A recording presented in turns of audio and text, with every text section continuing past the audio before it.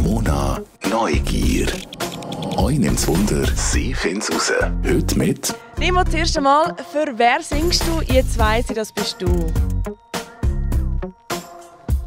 muss ich schon mit so einer Antwort anfangen. Das ist leider blöd, aber das habe ich bis jetzt immer für mich behalten und das werde ich auch für mich behalten. Aber das Coole am Song ist, dass es einfach ein universeller Song ist, den man auf so viele Leute kann übertragen kann. Und ich glaube, jeder hat so ein bisschen sein eigenes Du. Bist du in einer Beziehung? Sagst du das nicht?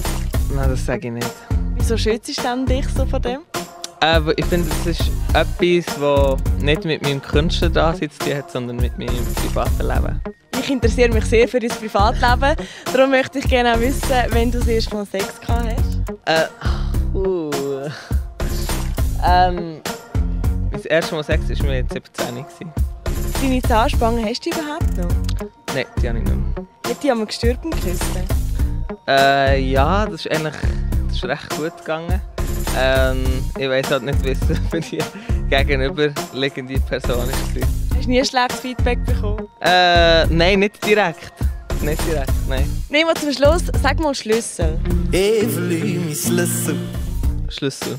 Kannst es ja. Ja, ich kann es. Es ist, ich weiß aber auch nicht, wieso das passiert ist, aber Schlüssel. Schuhe. Schuhe. Darfst du mir auch noch eine Frage stellen? Wie viel gibst du im Jahr für Weihnachtsgeschenke aus? Weißt, es ist so schwierig zu sagen, so pro Person so und so viel.